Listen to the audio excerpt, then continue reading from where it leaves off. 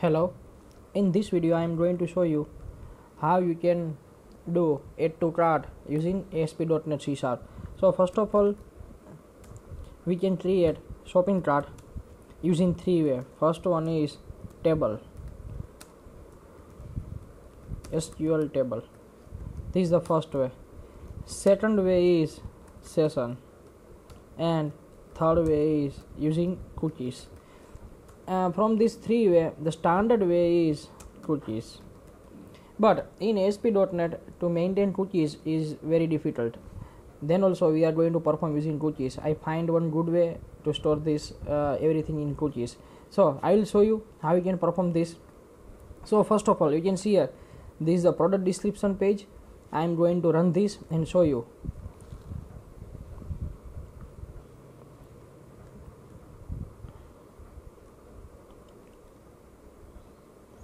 we are going to perform step by step so you can easily understand what I am going to perform here.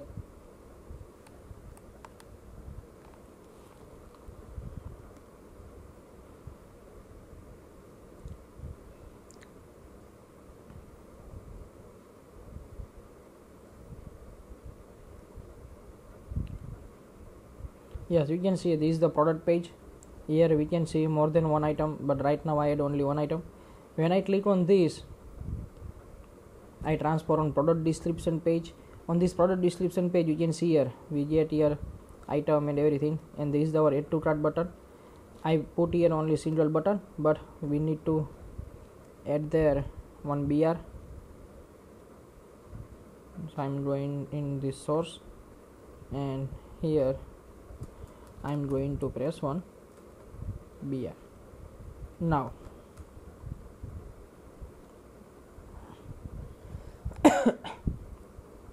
we can see here we get here add to cart button. Now in this add to cart button we are going to use cookies and we are going to store this item inside this cookies. So this way we can perform our shopping cart. And now first of all i create this click event of this. I show you. In design. Double click on this. So we get this click event. So now inside this click event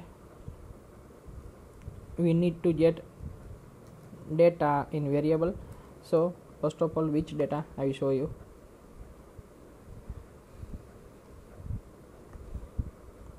In my last video i am i forgot to write here where id is equal to id so if you are going to perform then please check it. You write here. If you don't then please write this where id is equal to and you have to write this line also id is equal to and you have to declare one variable also. So please uh, uh, confirm this.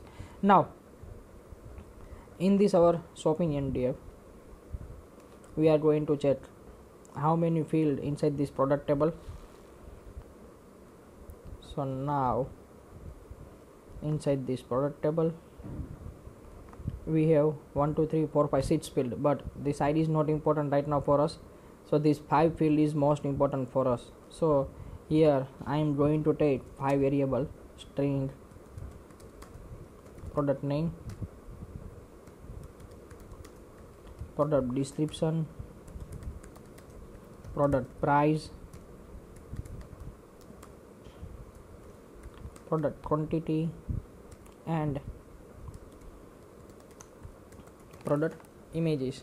Now after taking this variable we need to get value from this product table inside this variable. So first of all we have to write here one loop for each data row dr in dt dot rows.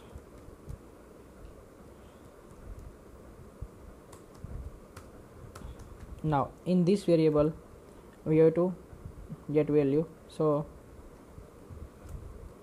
copy and paste over here.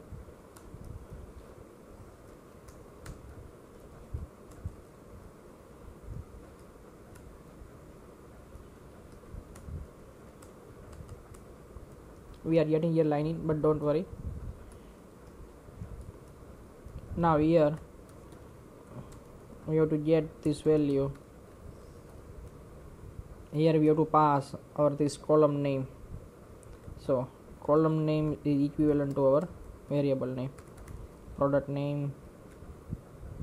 Now copy this paste here. Product underscore dsc product underscore price.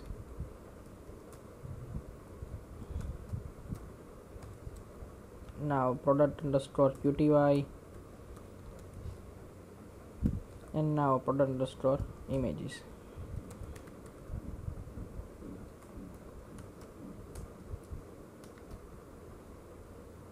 Now you can see. Everything is okay now. Now so we get this item inside this variable. Now we have to perform cookies operation. So first of all we are going to create only single cookies.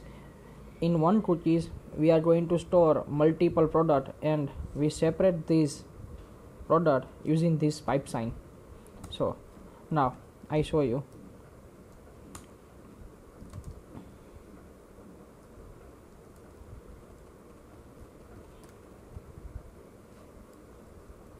We are going to use cookies name is aa right now for testing. So first of all i'm going to check if uh, any record in inside this cookies or not. If uh, cookies is blank then this code will execute and there is I available item inside cookies then this code else part is executed. So first of all we are going to check if no item available. On the time what we are going to perform? We are going to perform create these cookies and inside these cookies we pass our all variable and separate with comma. All values we are separating using comma. You can see here everything separating using comma. And we pass here time duration expire time is one day. So uh, this for 24 hour. Now if one record is available or two record is available and we are going to add one new record on that time what i am going to perform? I pass here create these cookies and in these cookies we already take one value and i pass here pipe sign and record this. So i explain here what happened. If uh, just consider aa is equal to already we have record testing. Just consider in your cookies the record is testing and you are going to add one new record inside this cookies name is testing one then what happened? The output should be like this. A a is equal to testing then pipe sign then we are going here testing one. So we are going to perform uh, separate this record using this pipe sign. So we are going to create only one cookie but inside these cookies we are going to separate this record using pipe sign. So if you have 30 50 records inside the cookies then each and every record is separated by pipe sign.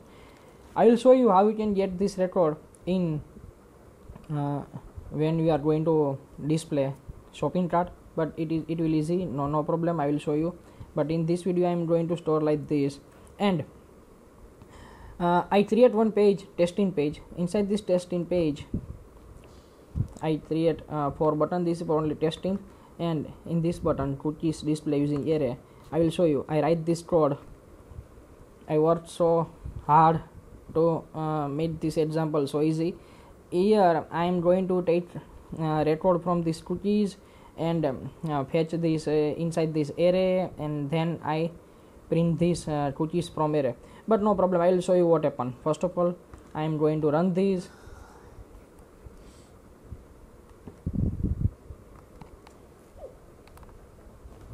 Now first of all i am going to delete everything cookies and everything.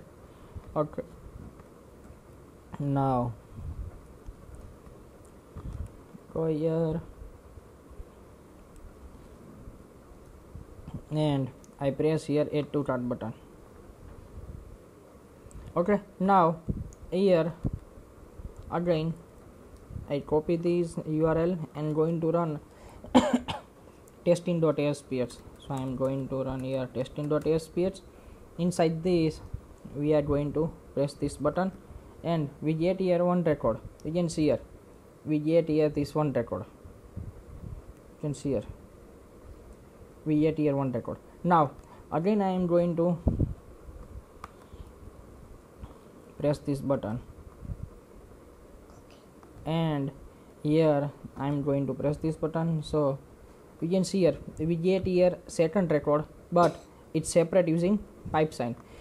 Now just consider you add 30 record 50 records inside this then each time you get this way separated by pipe sign. So here i show you simple how we can do it to chart using cookies. Uh, later on we are going to check everything.